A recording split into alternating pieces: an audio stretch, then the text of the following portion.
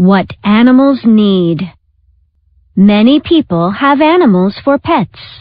Like all animals, pets need certain things to survive. That means they need these things to live. They need water, just like us. They need food, just like us. They need air to breathe, just like us.